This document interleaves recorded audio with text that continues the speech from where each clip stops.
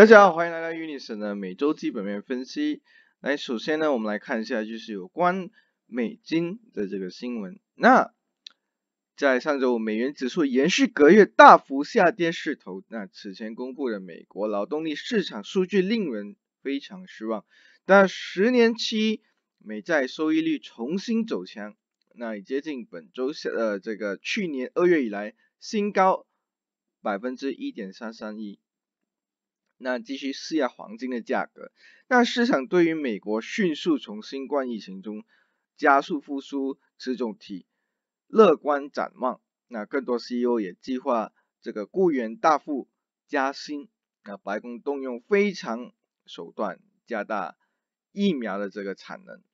那财长耶伦就实现这个呃抗疫纾困计划运量加税。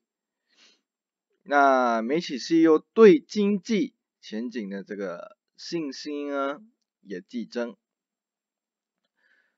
那在周四呢的一项调查显示呢，就是随着新冠疫苗的接种，那美国商界领袖们对经济前景的信心是二零零四年以来最强的。他们预计未来数月将减少裁员，而且有更多高管。计划给雇员大幅加薪。那此外，我们来看一下，就是拜登将访问惠瑞工厂。那由于全国各州的地方呢，政府要求就是提供更多疫苗，美国总统拜登周五将前往这个密歇根州卡拉马卡拉马祖市。造访惠瑞公司制造工厂，那该工厂是惠瑞最大的生产基地，也是美国唯一的这个新冠疫苗的生产线。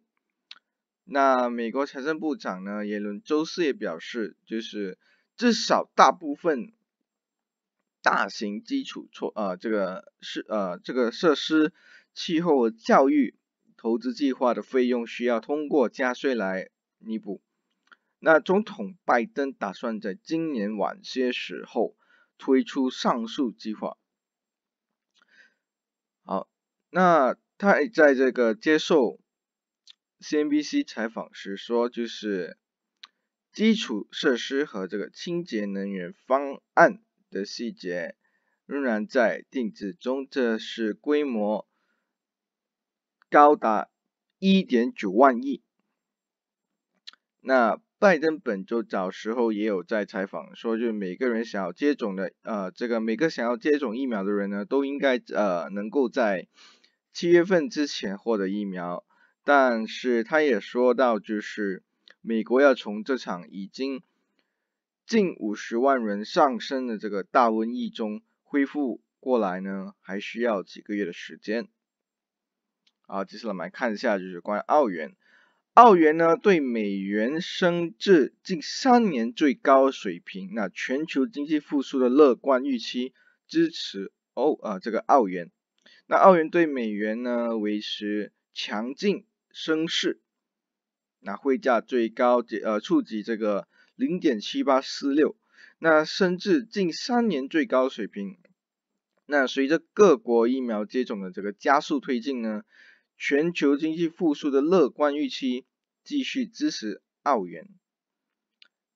那当天早些时候呢，澳大利亚总统啊这个统计局公布的这个数据显示呢，一月份零售零售额每月增长百分之零点六，未达到市场的这个预期的百分之二的增长，但是。该报告在很大的程度上被市场参与参与者所忽略。此外，欧元区也公布了一系列的这个制造业数据表，表现呢大幅好预期，好于预期，也推升了这个市场风险偏好情绪，施压美元，同时也带动了这个澳元走高。好。接下来呢，我们来看一下就是黄金。现货黄金呢探底回升并小幅走高，百分之零点四八至一七八四点二五，那一度触及七个七个月低点的一七六零点八一，但随后因美元走低而返回。跌幅。不过二零二一年呢，黄金已经下跌了大约有百分之六。那算本周来说呢，金价下跌百分之二点一九，那创一月八日当周以来的这个最大周线跌幅，因美债收益率持续走高时的金价承压。那同时疫情的这个逐步缓解也进一步施压金价下跌。不过美联储报告及纽约这个纽约联储主席 Williams 重申。为美国经济提供强力、强有力的这个支持，为金价提供这个支撑。那另外，经济数据石油，哎，石油参半也给了金价这个喘息之机。好，那众议院呢，计划在二月二十六日对总统拜登的刺激计计划进行投票。那民主党试图在不到四周时间里通过这项法案，那参议院多数党领袖呢都出谋表示，他预计白宫将在三月十四日签署经济刺激法案。刺激法案，那数百万美国人增加的这个联邦失业就业基金。将到期。